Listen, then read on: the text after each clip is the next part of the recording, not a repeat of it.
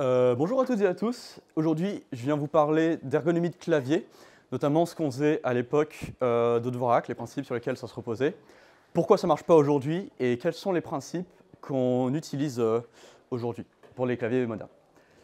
Donc, je commence par me présenter vite fait. Euh, moi, c'est Nuclear Squid, Léo de mon vrai nom. Appelez-moi comme vous voulez, je m'en fous un peu. Je suis un étudiant grenoblois en informatique et électronique des systèmes embarqués et je je vous jure, j'ai pas de problème avec les claviers, je peux m'arrêter quand je veux. Juste là, c'est pas le moment, j'ai pas envie. Et euh, je dirige depuis 4 ans euh, le projet Ergol, donc c'est un projet de disposition de clavier euh, qui est encore en cours, qui est encore en train de bouger. Et je vais pouvoir vous en parler un peu pendant cette conférence. Tout commença à l'ère de Dvorak. Alors avant de parler de Dvorak un peu, il va falloir d'abord parler de QWERTY pour expliquer pourquoi on en a besoin. Donc QWERTY, il y a plein de préjugés dessus. Euh, typiquement, le plus courant est que ça a été conçu pour être euh, intentionnellement inefficace. C'est juste faux. Ça, ça a été conçu à la base sur un design très simple qui était littéralement un agencement par ordre alphabétique qui a été un peu bidouillé pour que ça marche à peu près. On peut encore le voir aujourd'hui avec C, D, E, F, G, H, J, K, L. Euh, mais ce qui nous intéresse aujourd'hui, c'est pourquoi ça marche pas. Alors là, on a une, une heatmap. Du coup, plus on appuie sur, euh, fréquemment sur une touche, et euh, plus elle va être colorée en bleu foncé. Donc on peut voir là que le E est très fréquent, le D un peu moins, le K pratiquement pas. Et ce que ça permet de voir, c'est de voir en moyenne où est-ce qu'on appuie sur les touches. Et du coup, on peut voir très vite là que les lettres fréquentes comme le E, T, H, N, O sont loin des, euh, touches de repos, qui sont du coup ASCDF à gauche, JKL, point virgule à droite. Ce qui est un problème, parce qu'on aimerait bien pouvoir juste directement taper dessus. Euh, on peut voir aussi, j'ai pas regardé ça, mais oui, ça marche, euh, que la charge des doigts est très déséquilibrée.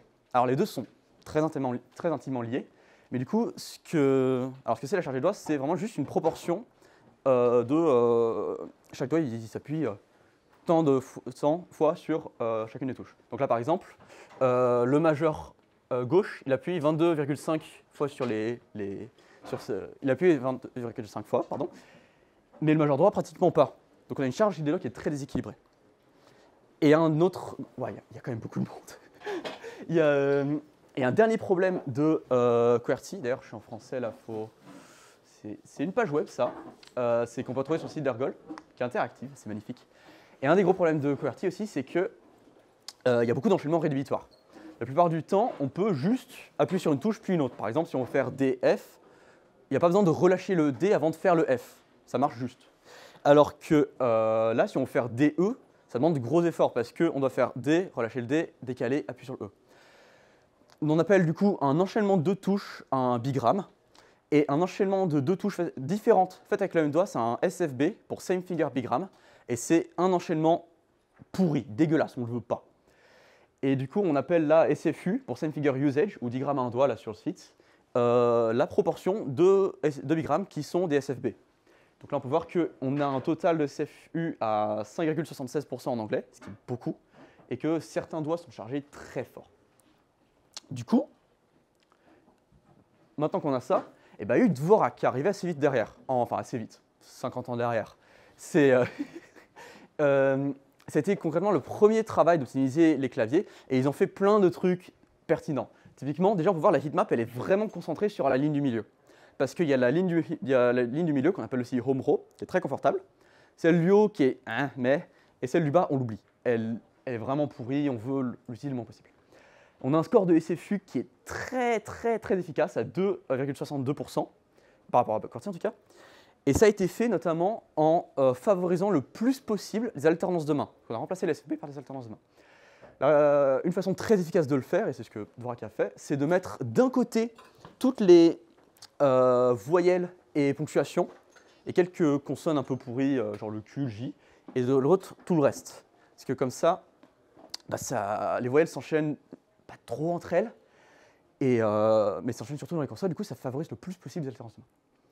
Mais par contre, le défaut, c'est que on, a plein on perd tous les raccourcis clavier visuels. J'ai oublié de le dire, mais euh, QWERTY a beau être pourri, il marchait suffisamment bien et est arrivé en premier, du coup c'est devenu le standard. C'est un problème d'ailleurs que les développeurs C++ et JavaScript connaissent très bien. Et c'est euh, typiquement un truc euh, qui a été calé sur QWERTY, c'est beaucoup des raccourcis clavier visuels.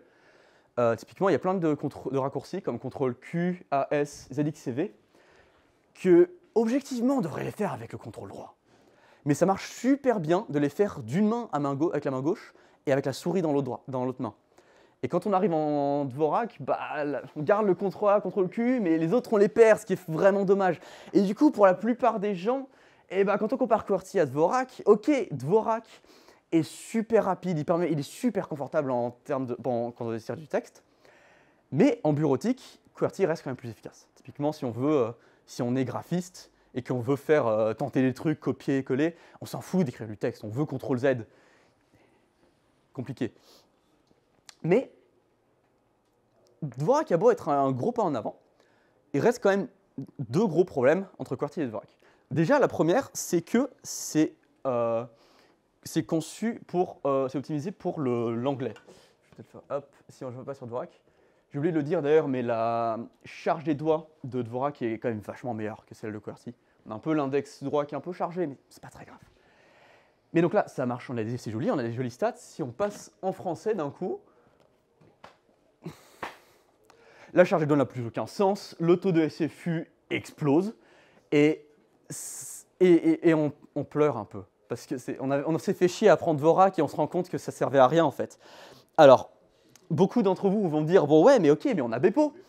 Euh, voilà, euh, Bepo qui euh, reprend concrètement les mêmes pratiquement les mêmes principes que Dvorak. Donc on sacrifie les raccourcis clavier pour mettre la ponctuation et les voyelles à gauche et le reste à droite. Mais il y a quelques problèmes avec Bepo. Déjà, dès qu'on fait la comparaison avec Dvorak, il y a des problèmes. Déjà, euh, il y a plein d'accents et diacritiques bizarres en français qui ont été mis au milieu du clavier, et du coup, ça pousse des lettres en dehors euh, du grand pavé des, euh, des 3 fois 10 touches centrales dans, dans lequel on a l'habitude de taper. Donc ça, c'est un problème. la charge des doigts aussi, qui favorise pas super la, le, le centre, par exemple, avec le C et le O, qui, le C qui a une place trop bonne, le O qui est un endroit un peu pourri. Et surtout, les, et surtout les, les, les, les vraiment, les chiffres en shift. Les, je, on me reproche souvent de m'énerver sur les chiffres en shift, mais quel genre de problème il faut avoir dans sa vie pour développer une disposition clavier et foutre les chiffres en shift? Et Optimo, c'est pire, c'est un dérivé de Bepo, il y a toujours les chiffres en shift, mais il y a le euro en direct. Tu fais une facture, tu te fais chier là avec. Et à la fin, euro, c'est théâtral, c'est magnifique. Non, y a, un problème. Euh, mais plus sérieusement, c'est un des problèmes. Euh, on a Bepo en français qui corrige un peu le fait que euh, Dvorak et QWERTY ne soient pas prévus pour le français. Mais surtout, le gros problème, c'était conçu pour les machines à écrire à l'époque. Et c'est un truc qu'on oublie souvent. Et les machines à écrire, ça avait des grosses contraintes qu'on n'a plus aujourd'hui. Typiquement, favoriser les alternances de mains en Dvorak à tout prix, c'était pas forcément un choix qui était pertinent en termes d'ergonomie. C'était parce que euh, c'était une contrainte en fait. Parce que un enchaînement qui marche très bien sur les euh, claviers modernes, c'est les roulements. Par exemple, si on revient sur Dvorak, si je fais euh, EU, les deux sont sur la... On peut juste faire le E, le U, comme ça, c'est la même main, ça roule vers l'intérieur, c'est cool. Et même quand on va vers l'extérieur, genre UA, ça marche bien, c'est cool. Par contre, les machines à écrire, les marteaux, ils ont tendance à se bloquer quand on appuie sur deux touches côte à côte surtout quand on appuie sur deux touches côte à côte. Et un roulement, c'est une super façon d'appuyer sur deux touches côte à côte. Du coup, il fallait les éviter, alors que c'est bien. Et puis évidemment, les raccourcis clavier n'existaient pas, du coup, Corti, Dvorak ne les a pas pris en compte. Du coup, finalement, Dvorak et toutes les dispos qui en découlent, comme euh, Dvorak FR, Bepo, Optimo, reposent sur des principes dépassés. Mais tout a changé quand le Planck et Colmax sont arrivés. J'ai commencé par le Planck, qui est un, clavier ergonomique qui ressemble à ça, euh, qui est sorti en 2015, qui est fait par KB. Alors, les trois quarts d'entre vous, j'imagine, doivent se dire, mais il manque pas genre les trois quarts du clavier, c'est le but. C'est le but. L'objectif, c'est que on veut pas faire de touches qui sont à plus de, euh, deux, une position sur chaque axe de la position de repos. Donc par exemple, là, on a le point virgule, c'est la position de repos du, de, de. On ne veut pas faire une touche qui soit plus longue que celle-là ou celle-là. Bon, il y a celle-là pour les pouces, mais on ne sert pratiquement jamais. Et pour faire euh, les, les, les, trucs qui sont en dehors, on va utiliser des modifiers qui sont sous les pouces. Typiquement, euh, par exemple, là, euh, leur config par défaut elle est un peu pourrie, mais un truc qu'on peut faire, c'est que si on maintient cette touche, par exemple, et ben, au lieu de, quand on appuie sur ASDF, au lieu de faire ASDF, ça fait 1, 2, 3, 4, par exemple. Et du coup, au lieu d'amener les mains vers les touches, on amène les touches vers les mains. Ce qui fait qu'on bouge plus les mains, et d'un point de vue ergonomie, c'est magique. J'ai pas trop le temps de, parler plus en détail que ça. On a un stand euh, où on, va, on peut vous montrer euh, tout ça en, tout le week-end. Et c'est génial. Du coup, c'est vraiment un objectif. Du coup, maintenant, les, les claviers euh, ergonomiques, c'est plus ces affreux monstres énormes de Kinesis Contour qu'on veut. C'est ça. C'est un clavier le plus petit possible. ça, c'est un Ferry, il y en a sur le stand. 34 touches, c'est tout ce dont vous avez besoin. Et c'est génial, on bouge plus les mains. Évidemment, si vous tapez en Bepo, euh, avec les touches en dehors, c'est compliqué. Il y, a beaucoup de gens qui. J'ai beaucoup demandé, savoir comment on faisait. Euh, J'ai pas eu de bonne réponse encore. Puis après, il y a Colmac. Enfin, avant plutôt. Colmac est sorti en 2006, donc 4 ans avant Bepo, euh, qui a, complètement. qui est parti d'une ergonomie complètement différente de Dvorak. Déjà, ils considèrent que les raccourcis clavier sont super importants, donc on va les garder euh, le, plus possible. Bon, ils ont dû décaler CTRL S d'une colonne pour éviter un SFB euh, bien dégueulasse avec le CR, euh, mais c'est pas très grave. Mais du coup, vu qu'on est sur un clavier ordinateur cette fois, les roulements ont été pris en compte. Et du coup, on a une deuxième façon de casser les SFU, les SFB, pardon, en plus d'avoir des, des, raccourcis confortables. Et du coup, si on vient sur euh, euh, ah oui, j'ai oublié de, parler, de, montrer les stats de Bepo. Mince, désolé, bon, je vais le faire vite. Euh, Bepo qui a un score de SFU de 2,55, c'est à peu près autant que Dvorak, mais un index gauche beaucoup trop chargé, un index droit beaucoup trop chargé, et un taux de SFU sur l'index gauche trop chargé aussi. Et j'ai oublié d'en parler, je suis désolé, je suis assez mal organisé. Il y a aussi les touches doublées qu'il faut prendre en compte. Le seul endroit, en général, on s'en fout. Le seul endroit où on n'en veut pas, c'est sur l'auriculaire. Il y en a plein sur, le, Bepo, et notamment le M qui est fréquemment doublé en extension. Donc euh, ça, c'est un autre gros problème de Bepo. Mais donc oui, Colmac. Il euh, faut que je passe en anglais. Tac, Colmac. Colmac, avec tout ça, arrive à avoir un score de CFU de 1,57%. Donc non seulement on a les raccourcis clavier de QWERTY, mais on est plus efficace que Dvorak. Et c'est là que j'aimerais attirer votre attention sur ça, c'est parce que ça, les fondements de ce que Comac a fait, c'est vraiment la base sur laquelle on va se baser. Sur, euh, toutes les dispositions clavier aujourd'hui se sont basées. Parce que c'est-à-dire du coup chercher à privilégier les, roulements et les alternances de main pour que ce soit le plus efficace possible. Alors, est-ce que Colmac est parfait? Euh, J'ai beau être fan de Colmac, non. Les index sont trop chargés. Euh, il y a aussi euh, les colonnes du centre qui sont assez fortement sollicitées avec le D et le H. Ce qui est généralement pas un gros problème, mais euh, quand on commence à faire des rôles, souvent, quand il y a des extensions, c'est pas confortable. Et typiquement, le HE en anglais, c'est peut-être le, premier ou deuxième enchaînement le plus fréquent, et il n'est pas ouf, et c'est dommage. Du coup, pas longtemps après, 4 ans après, il y a eu Workman qui est arrivé, qui a choisi de faire un compromis, à sacrifier un peu le SFU, qui remonte à 2,55, un peu comme euh, Dvorak et euh, Bepo, mais qui a cherché à casser euh, les colonnes du centre de Colmac. Typiquement, le H qui gênait, eh ben, il est passé là. Du coup, maintenant, c'est un roulement et un changement de main, tout se passe bien. Mais l'autre truc qui est super cool avec Dvorak, avec Colmac, pardon, Workman, je vais arriver, j'y suis arrivé, c'est que non seulement on a une chargée de doigts qui est absolument magnifique. Là, franchement, si vous avez un problème avec ça, je ne sais pas comment vous faites pour être heureux dans la vie. Euh, mais surtout, ils ont fait une découverte fascinante sur les, la heatmap. C'est que, comme je disais, pour euh, Dvorak, Bepo et Colmac, ce qu'on pensait, c'était que home row bien, roche du home mais, du bas non. En fait, c'est pas si simple que ça. La, la position de repos donc chacune des doigts, donc la, home row, mais sans les deux colonnes du centre, génial, magnifique, on veut tout ça là. Par contre, les majeurs et l'annulaire, c'est des doigts qui sont assez longs. Et finalement, les monter, c'est pas un problème. Du coup, finalement, le D et le R, là, c'est des places qui sont bien. Pareil, l'index, c'est un doigt qui est court et qui est agile, qui est fort. Il aime bien descendre. Donc le C, qui est ici, bon, le V en ouais, euh, pareil, c'est une place qui marche super bien aussi. Bon, l'auriculaire à beau et court, il n'aime pas descendre, il n'aime pas bouger tout court, euh, que c'est l'auriculaire. Et du coup, d'un coup, avec Colmac et surtout les, avancements de Workman sur la, la euh, on a une base qui, est vachement plus solide maintenant pour comprendre comment ça marche un, clavier optimisé. Alors vous allez me dire qu'à la marre, tu dis beaucoup de choses super bien sur Colmac et Workman, tu, tu les demanderais à Mariage si tu pouvais. Est-ce que ça marche en français? Parce que vu que QWERTY me et Dvorak ça marche pas. Non Je suis en plein désarroi. Je suis en plein. D'un coup, le, EU, empilé le EU notamment, ça marche très bien en anglais parce qu'on les a pratiquement jamais. Mais en français, c'est ultra fréquent. Et du coup, le taux de SFU explose, la charge des doigts n'a plus aucun sens, même sur Workman qui a fait une magnifique. Et euh, vu que c'est une voyelle, que ça s'enchaîne avec un peu tout, on ne peut pas faire juste un enchaînement et un, les- changer de touche si ça passe. Non, c'est beaucoup plus compliqué que ça. Du coup, il va falloir qu'on parte un peu à zéro. On va développer nous-mêmes une dispo qui marche en français selon ces principes euh, de Colmac et Workman. Alors, spoiler alert, euh, on va parler d'Ergol, qui est mon projet du coup, parce que c'est ce que j'ai fait. Alors, déjà, on a vu pas mal de stats.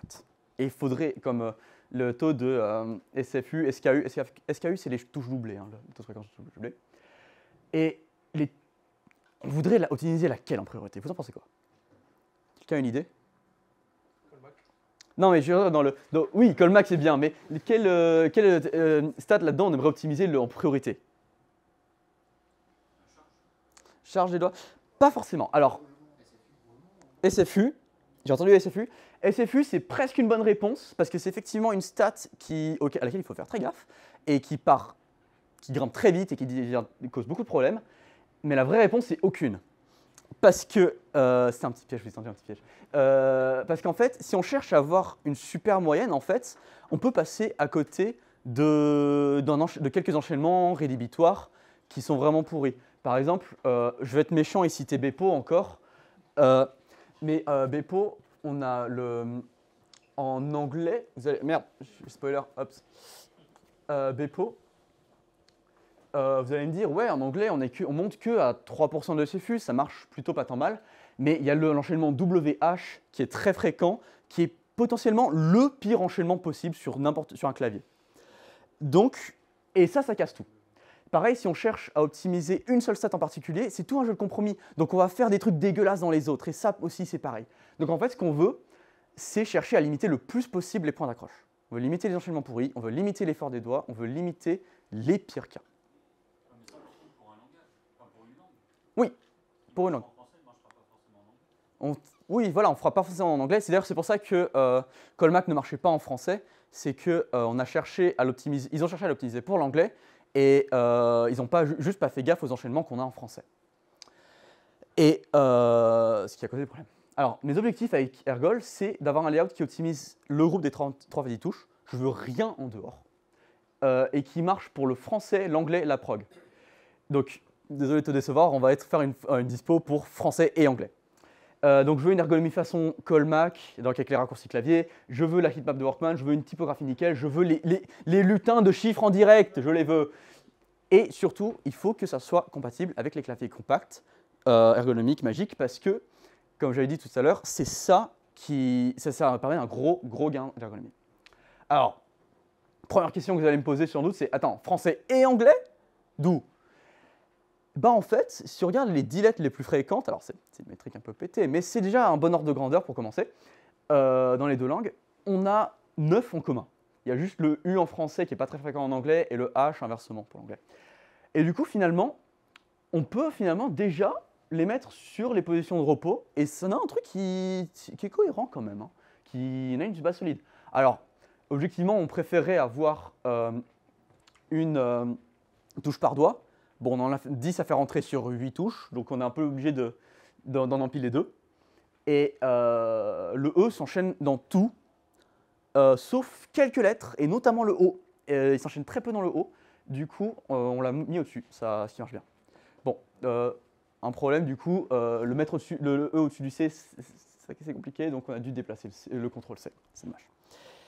Mais donc voilà, finalement, on a une, une donc finalement, optimisé pour le français et l'anglais, c'est possible. Alors vous allez me dire, le E, pourquoi je l'ai mis sur le majeur, il ne devrait pas être sur l'index plutôt? Parce que le, E, c'est, euh, si on reprend les stats qu'on avait là, c'est de très très loin la lettre la plus fréquente dans les deux langues.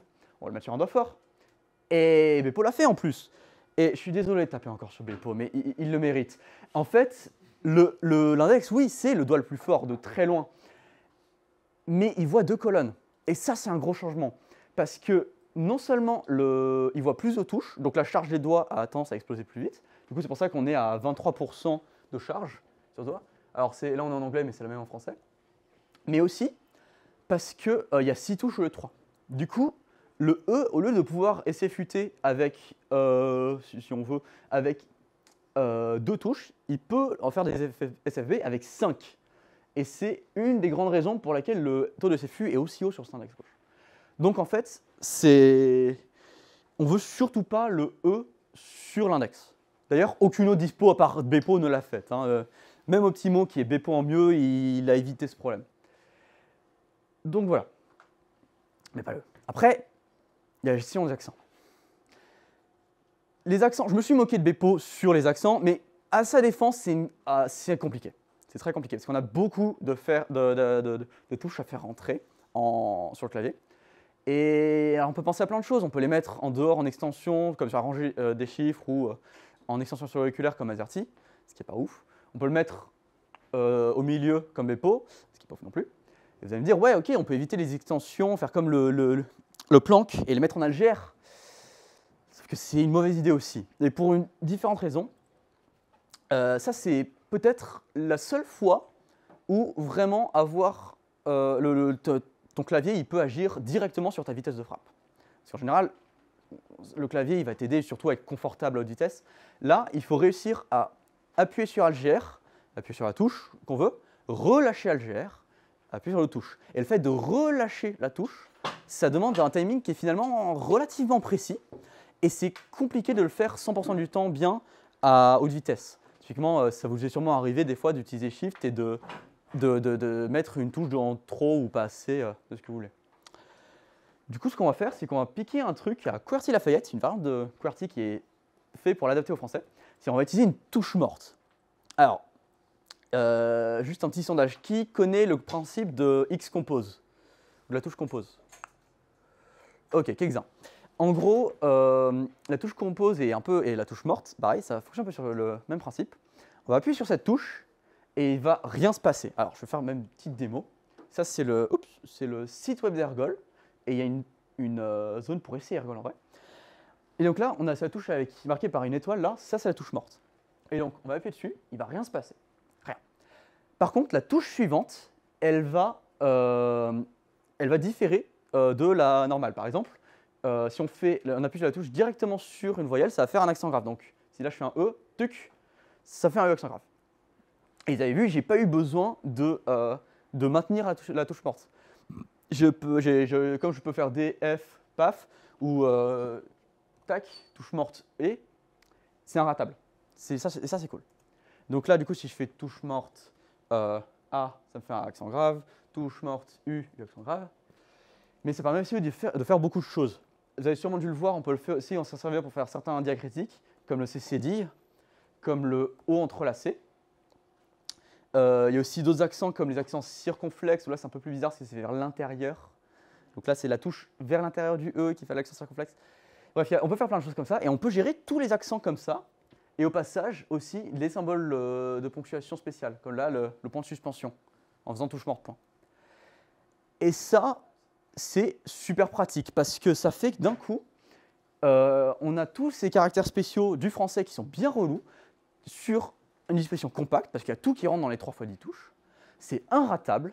Et en plus, on a tous les, on a tous les, caractères spéciaux, les diacritiques, les accents, on a tout. Est-ce que c'est parfait? Non, malheureusement. Il y a des défauts. Typiquement, ça rajoute 4% de touches sur le clavier en plus. Euh, dont 3% c'est le E accent aigu et l'apostrophe typographique. Le reste, c'est tout le reste euh, des diacritiques euh, et accents euh, qui sont plus souvent. Et ça cause quelques SFB en plus. Parce que, euh, si on revient là, ok, on a le.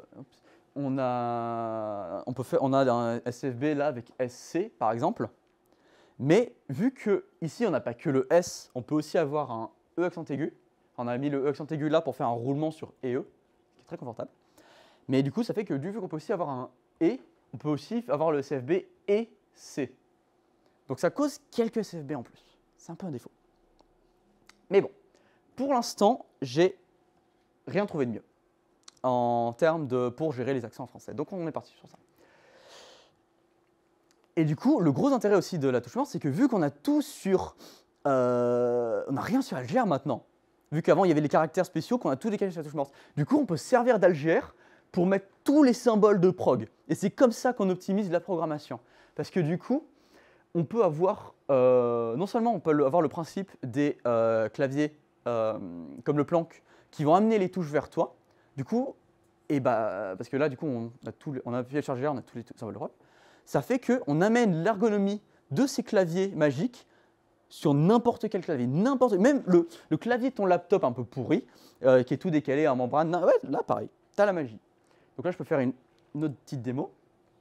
Et je peux maintenir Algère, tac, et si je veux faire un plus égal, bah, je fais plus égal, pouf, et je suis content.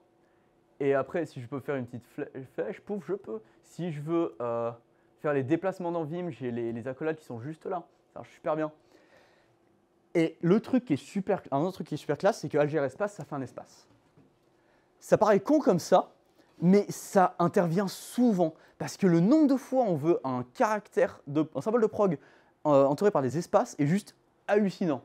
Typiquement, si vous faites euh, du Rust, par exemple, meilleur langage du monde, vous allez faire par exemple fn euh, new, stack, et ensuite, je veux pas d'argument, espace, le type de retour, ça sera euh, un truc.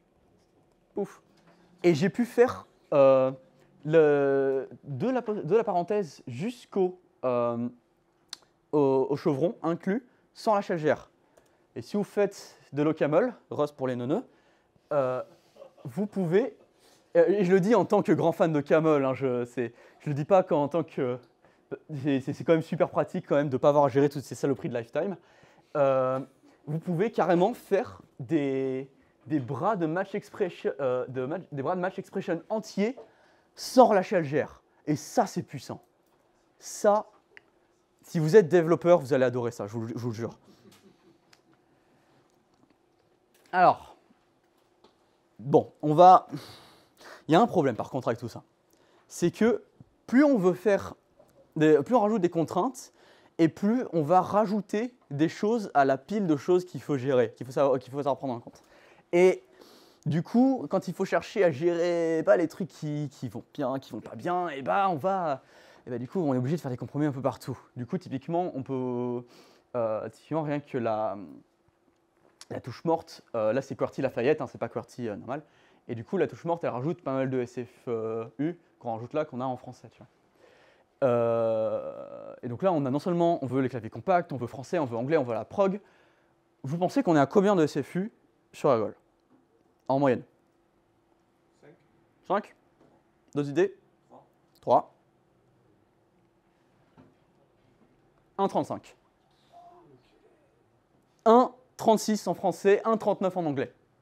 Parce que si vous vous souvenez ce que j'ai dit euh, un peu avant, français et anglais, si on s'y prend sur une bonne base, ça marche. Et vu qu'on utilise les principes euh, de Colmac qui sont euh, calés pour être efficaces et, et, prendre en compte le fait qu'on soit sur un vrai clavier d'ordinateur et pas sur une machine à écrire, eh ben on peut se permettre des choses fabuleuses.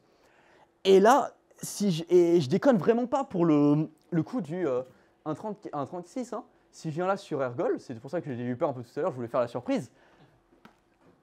Ouais, ça marche.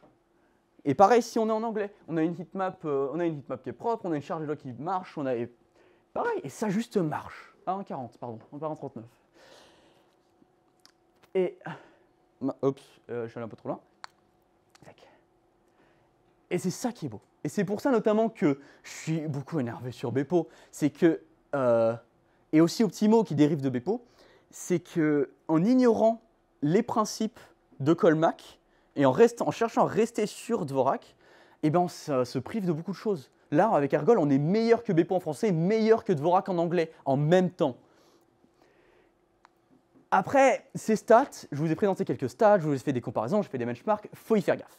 Typiquement, vous avez peut-être vu sur la charge des doigts de, euh, de Ergol, celle-là, je l'ai en français, euh, j'ai dit il faut faire attention. euh, on a euh, une fréquence sur le majeur gauche que je considérais comme étant trop élevée sur d'autres dispos.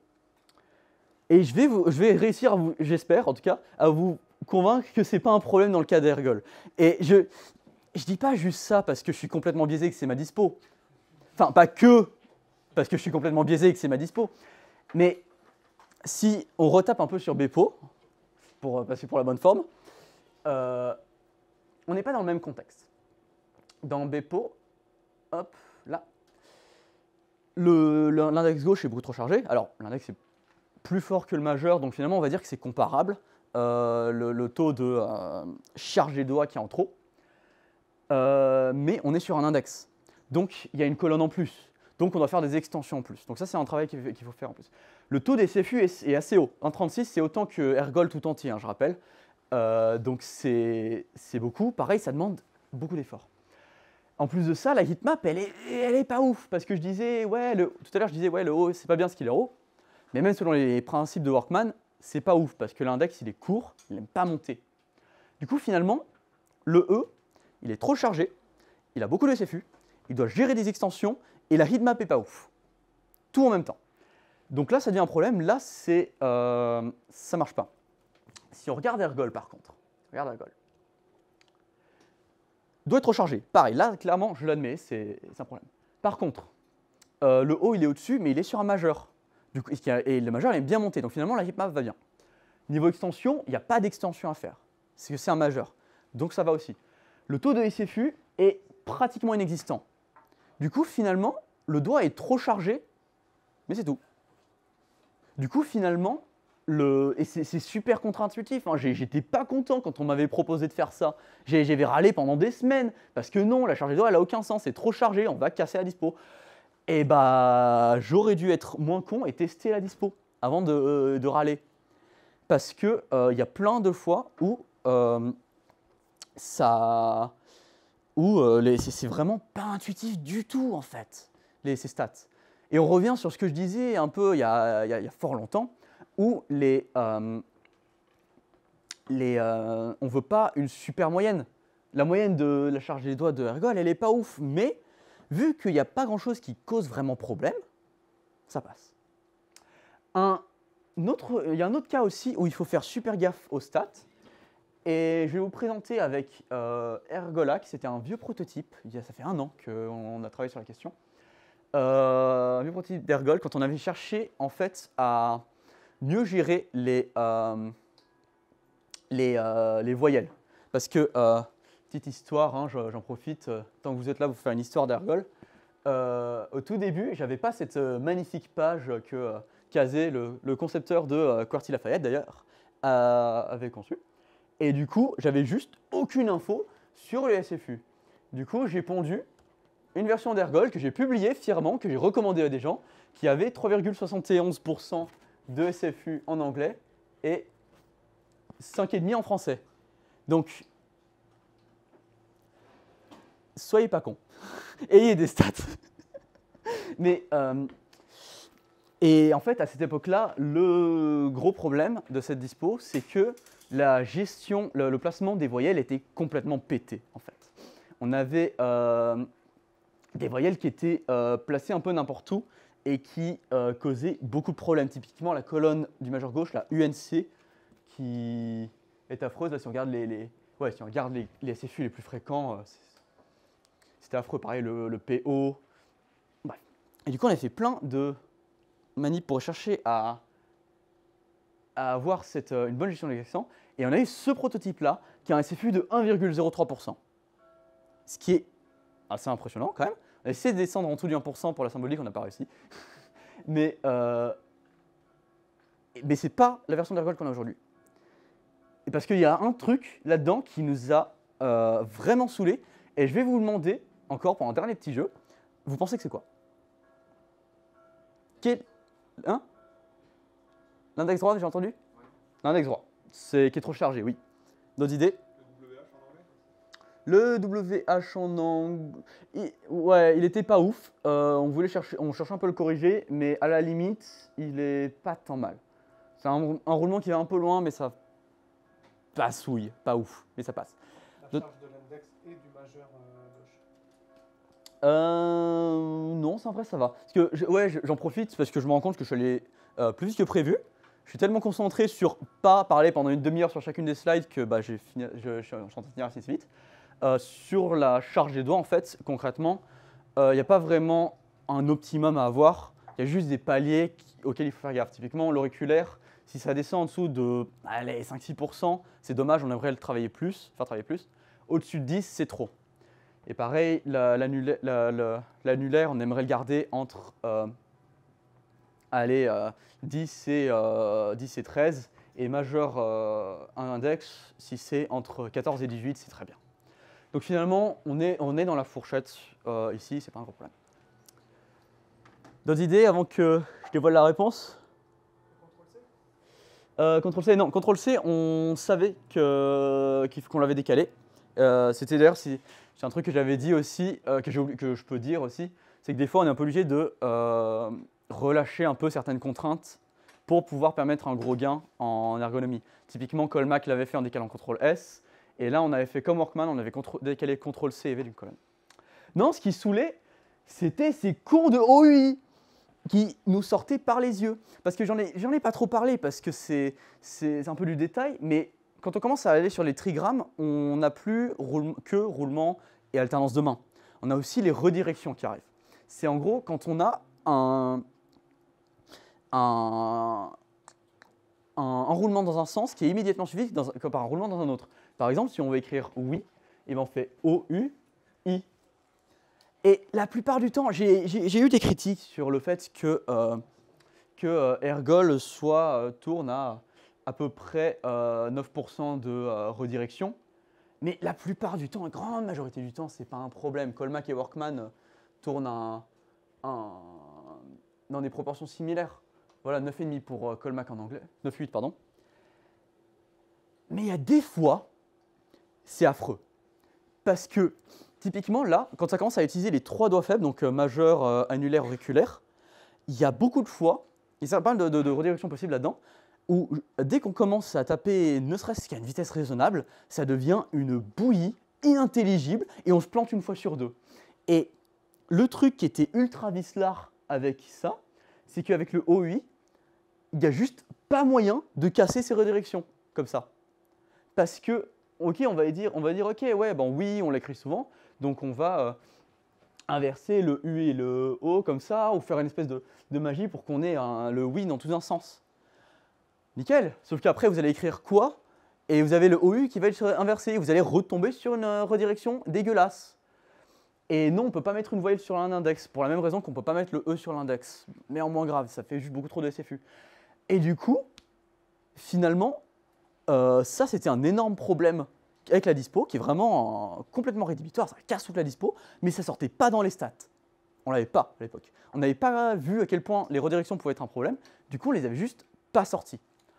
Et je suis sûr qu'aujourd'hui, avec mes jolies stats euh, de, la mort qui tue, il y a plein de trucs qui manquent. Et il y a plein de trucs où je sais qu'on ne pourra pas les quantifier proprement. Par exemple, si je fais, euh, je vais dire du mal d'ergol, pour que, pour que je sois un peu moins euh, biaisé, mais euh, un enchaînement qui me saoule beaucoup en ce moment, c'est my en anglais, pour le hop, M, Y, là. Parce que ça a beau être un roulement, c'est un roulement qui est très vertical et on casse un peu la main comme ça et c'est pas confortable. Ça, les stats pourront pas vous le sortir. Parce que c'est des heures d'enchaînement. Quand on commence à rentrer dans le détail de ces enchaînements-là, c'est vraiment très personnel. Il y a des gens, ils vont aimer certains, d'autres, ils vont trouver que c'est pas horrible, vraiment horrible. On peut pas. Donc, il y a plein de fois, euh, ces stats, il faut tester la dispo parce qu'il y a plein de fois, ces stats pourront pas tout vous dire. Ça donne une super vue d'ensemble, mais il faut savoir les interpréter, il faut savoir tester la dispo, il faut savoir ce qui marche ou pas. Et donc voilà, faites pas totalement confiance aux benchmarks, même ceux que je propose moi, parce que euh, ça, peut être biaisé. Bon, quand on a euh, 1% de CFU d'écart avec euh, Bepo, par contre, ça on peut dire que c'est pas mal. Euh, pour euh, finir, j'aimerais euh, présenter certaines dispos, comme là c'est MTGAP, conçu exp- exclusivement pour l'anglais. Et il y en a certaines qui cherchent à... Parce qu'on on a fait plein de, compromis, plein d'objectifs, on a calé plein d'objectifs au début avec Ergol, mais on n'est pas obligé de les avoir ceux-là. Et typiquement, il y a certaines dispos qui cherchent à renoncer au raccourci clavier visuel pour être le plus efficace possible. Mais ils renoncent pas au ils renoncent pas avec la, à ça euh, pour euh, le principe de Vorak. Ils continuent d'appliquer le principe de Colmac et du coup on descend des scores de SFU qui sont absolument démentiels, à 1,02%. Et cette fois il n'y a pas de redirection à la con qui casse toute la dispo. Voilà, après, savoir est-ce que vous aimez euh, ça ou pas, c'est une question de préférence. Savoir est-ce qu'est-ce que vous voulez et trouver une dispo qui vous convient à vous.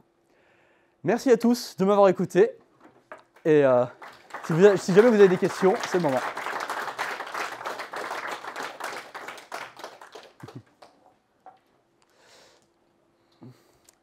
Quelqu'un a des questions du coup? Oui, une question. Moi, justement, j'irais même jusqu'à trois langages. Parce que souvent, j'utilise, j'ai besoin d'utiliser l'espagnol en plus. Et est-ce qu'il y a des possibilités, enfin, comment améliorer un clavier pour euh, avoir quelques signes espagnols, pas trop galère à atteindre? Ok. Alors je, vais, euh, alors, je vais répéter les questions parce qu'on me l'a demandé avec l'étiquette pour que ça soit enregistré.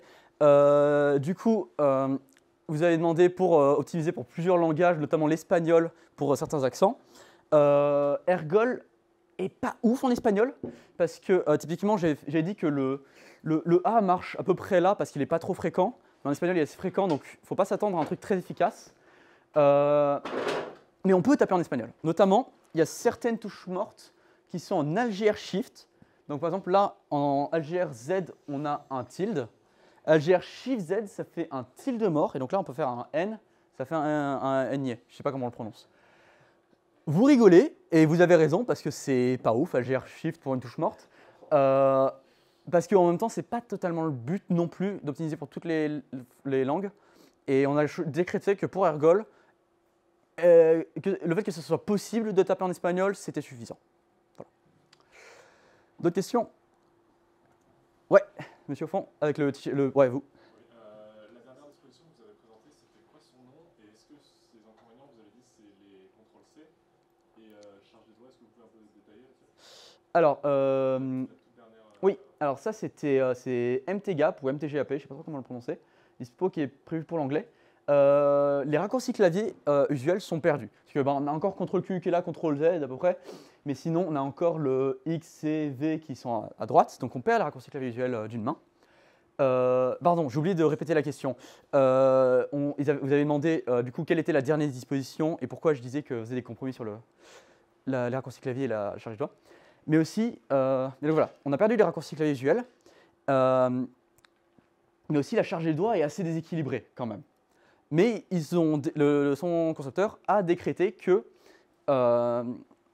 c'était pas super grave et ce qui, ce qui comptait c'était de pouvoir taper super vite sans faire aucun effort. Et du coup, c'est un choix qu'il a fait, c'est dans ses objectifs. Il y en a d'autres comme euh, ISRT euh, qu'on a là de la main gauche, c'est un peu compliqué, voilà, qui euh, sacrifie toujours les raccourcis clavier, mais qui cherche à avoir une charge de doigts un poil plus cohérente. Et ça, c'est que en anglais? C'est que pour l'anglais, oui. Disposition équivalente en français ou Euh, en anglais, euh, on a Optimo un peu, qui, euh, marche, pas pour le français. On a Optimo qui cherche à euh, sacrifier les raccourcis clavier euh, pour descendre le plus bas possible en SFU. Par exemple, là je l'ai dans la page de dev. Mais à 0,89%, ce qui est très impressionnant. Mais j'aime toujours pas Optimo parce qu'il corrige toujours pas les problèmes de Bepo qui sont les touches en dehors, euh, la gestion des accents qui n'a aucun, sens, les, les lutins de chiffres en shift. Et euh, en plus de ça, la dispo cherche à absolument écrire 2500 caractères différents. Du coup, c'est pas compatible sur ton système. Donc oui, techniquement, on a Optimo pour ce genre d'approche, mais je ne recommande pas. Voilà.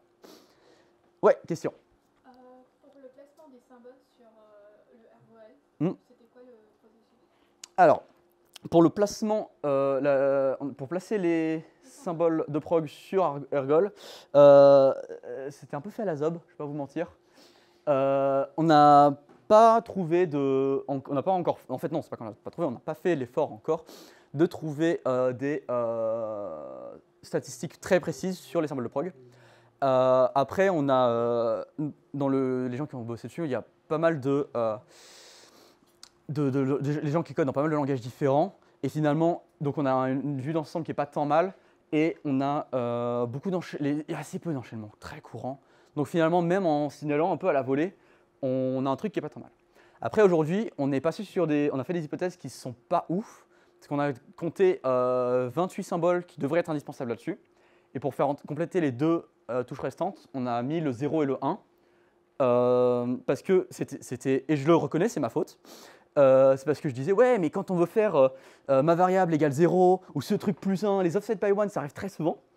Et en fait, je me suis rendu compte après que délimiter fermant point-virgule, c'était le enchaînement le plus fréquent dans la plupart des langages à tous les langages à point-virgule. Encore une fois, ayez des stats, soyez pas cons. Et du coup, on est en train de travailler un peu pour faire un truc plus formel et qui soit un peu plus optimisé. Mais en son état, ça marche à peu près pas tant mal. Question, oui Pour les dispositions qui perdent les contrôles et les Ouais. raccourcis clavier, Ouais. il y a aussi la possibilité d'avoir une couche supplémentaire avec le contrôle qui remet les touches QS, euh, CV, tout ça, au Oui. Euh, totalement, oui. Euh, donc pour les, les dispositions clavier qui renoncent au raccourci clavier, euh, effectivement, on peut, sur un clavier mécanique, euh, on peut faire un... On peut totalement avoir euh, une touche, enfin un layer, qui est dédié à faire contrôle plus la touche qu'on veut, la touche qu'on veut. Et euh, on peut réagencer ça comme on veut et avoir du coup les raccourcis de euh, QWERTY, ou l'agencer comme on veut pour avoir euh, un truc qui nous plaise parfaitement bien. Si vous êtes sous Mac aussi, vous pouvez bidouiller à la main votre key layout. Alors ne me demandez pas comment ça marche, j'ai pas de Mac et donc c'est assez vague. Mais il y a une couche dédiée à euh, quelle touche, qu'est-ce qui se passe quand on fait contrôle. Et du coup, vous pouvez euh, dans le code de votre soft, dans le soft de, la dispo, euh, dire que contrôle plus bah, cette touche là, bah, ça reste contrôle D, même en ergol. Sur Windows aussi. La possibilité de. Ok. C'est une question ou c'est une affirmation? C'est une affirmation. Ok. Donc je la répète du coup dans le micro. Sous Windows aussi, il y a un équivalent de, de, de la manip du key layout sous Mac et euh, du coup on peut le faire. Voilà. Question Ouais, euh, j'avais une question sur. On parle pas mal de stats. Ouais. Euh, ils viennent d'où les chiffres dans le sens où est-ce qu'il y a les fréquences aussi des mots, l'utilisation des mots, parce qu'il y a l'utilisation des lettres. Euh, mais quand tu veux faire euh, des digrammes, des trigrammes, euh, enfin, qui fait ces stats et est-ce qu'elles sont, qu'elles sont fiables? Euh, Est-ce qu'elles sont fiables? Euh, On a des, on avait comparé avec euh, les stats d'autres euh, évaluateurs de clavier en ligne et on avait des trucs qui sont similaires. Alors on n'a pas pu reprendre directement leurs stats parce qu'ils donnaient juste les stats et pas comment ils les avaient eu. Euh, donc euh, là on a pris, euh, je sais même plus, ouais, c'est on a pris Don Quichotte de Cervantes. Euh, je sais pourquoi pas. Et euh, après pour les, les mots fréquents. On est allé à l'échelle du trigramme, juste, parce que qu'il y ait un quadrigramme fréquent pourri, c'est quand même très, ra- très rare. Fait quand même c'est c'est assez rare. Et à l'échelle de quadrigramme, ça devient plus pertinent de regarder ces stats, parce que euh, en- une, fois, après, après- une fois appuyé sur euh, euh, une touche, tu en as deux autres après, et ton doigt il est déjà libre, il peut appuyer là où on veut. Donc c'est pas, c'est pas très pertinent d'aller au-dessus du trigramme, je trouve. Euh, de questions? Ouais. Une fois qu'on a toutes ces métriques, euh, Mm. on- les, les- les claviers, ont, dispositions sont euh, intuitées. Est-ce que c'est, on ne peut pas essayer d'avoir un, un moteur, un, un algo de- d'exploration pour optimiser sous contrainte hein, les différentes options? Ouais, Alors, ça soit fait comme ça déjà, je sais pas. alors euh, du coup, je répète la question parce que j'ai oublié de le faire pour la question de l'avant. Euh, euh, sur- maintenant qu'on a toutes ces stats, est-ce qu'on peut euh, avoir un, une, faire un, un algorithme qui génère une disposition clavier optimisée? Euh, Oui, mais c'est pété parce que en fait, c'est des euh, ce que je disais tout à l'heure avec les euh, redirections ou les rôles verticaux, c'est très très très compliqué d'avoir une mesure pertinente de ça sur un algo, sur, de façon objective. Puis même, il faudrait donner des scores objectifs à toutes les positions de clavier, tous les enchaînements possibles. Et en fait, ça, il y aura plein de biais dans tous les sens et on n'aura pas vraiment de, métriques précises, enfin euh, fiables. Typiquement, euh, le moteur le plus, le plus répandu, le plus populaire, c'est Carpalix. Et euh, il y a, de selon son moteur d'évaluation, si tu prends QWERTY et que tu prends les, les je vais, je remettre- repasser sur QWERTY là. Si tu prends QWERTY et que tu prends le E, R, I, O, comme ça, et tac, et tu les échanges avec les lettres qui sont en dessous, il considère que c'est plus efficace que Dvorak. Alors que le taux de SFU est euh, pratiquement le double. Enfin, même plus que le double. Donc, euh, c'est. En théorie, on pourrait avoir un moteur qui te donne une super dispo, euh, mais en pratique, il ne faut pas l'utiliser tel quel. C'est pas. Après, ça peut, on en a utilisé à un moment pour pouvoir brute forcer des pistes, et parce que des fois, en sortant des trucs, il sort des trucs auxquels tu n'aurais jamais pensé, et ça donne des pistes super intéressantes pour plus tard. Typiquement, si je reviens sur Ergolac, euh, on en avait, euh, il y en avait deux trois à dispo comme ça qui découlaient de euh, d'optimisation que Carpilix avait faite. Et qu'on après cherché à bidouiller, voir où est-ce que ça nous menait. Une dernière question et après on, ça sera fini. Si jamais il y en a une. Oui. Dispo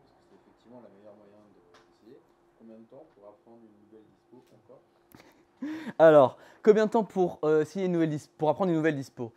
Euh, Je suis. Je suis, malheureusement la, mauvaise personne à demander ça parce que euh, j'ai trop changé de dispo et du coup j'ai appris à. Je suis devenu assez efficace pour faire ça. Non, sérieux, en 3 ans j'ai changé 7 fois de dispo, c'est horrible. Euh, mais. mais. ça prend du temps. Ça prend du temps. Ça, perso, ça me prend allez, un, quelques semaines à un mois pour taper à 40 mots minutes à peu près. Euh, et après, c'est taper vite à plus de 60, ça, c'est un deuxième mois. Et euh, quand on commence à être vraiment efficace, après trois mois. Par contre, il faut aussi prendre du bon pied. Il y a euh, deux sites que j'aime vraiment beaucoup, trois sites que j'aime vraiment beaucoup pour apprendre le clavier. Ah bah oui, j'ai pas de quoi internet. Bon, tant pis. Il y a keyboard.com qui commence avec les six touches les plus fréquentes en anglais. Et il te fait les bosser avec des enchaînements courants, des mots euh, du dictionnaire. Et il te laisse pas euh, ess- bosser une nouvelle lettre tant que tu n'as pas 100% de, fréquent, de, de, de, fiabilité sur ça. C'est très bien pour commencer. Une fois que tu as genre euh, 8 à 10 lettres, euh, tu peux passer à euh, Monkey Type. Pareil, j'ai toujours pas de. Oh Il était dans le cache, nickel. Il est, oui, bon du coup, qui est génial. Monkey Type, je vais voir lui faire une démo, je suis super content. Euh, Monkey Type qui est super génial parce que tu peux le configurer dans plein de façons différentes. Typiquement, euh, euh, là c'est juste des mots au pif et, euh, je fais un peu de la merde parce qu'on s'en fout. Et si après je, bon je l'ai pas, pas là, je, je peux pas finir. Mais après, typiquement, là je veux bosser la, fréquence. Je peux dire difficulty master et à la moindre faute, il va m'arrêter. Du coup,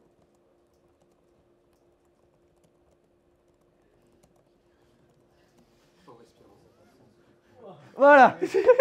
Voilà, faut que je bosse la précision et à la fin, il te fait, euh, des stats sur euh, ce que tu as fait et euh, il te donne tout plein de trucs. Tu peux le configurer de plein de façons différentes pour bosser plein de choses différentes et c'est grave cool. Et voilà. Et malheureusement, on va devoir s'arrêter là. Si vous avez d'autres questions, je serai tout le week-end à un stand dédié au clavier mécanique. Euh, vous pouvez me voir euh, quand vous voulez, si j'y suis. Merci à tous.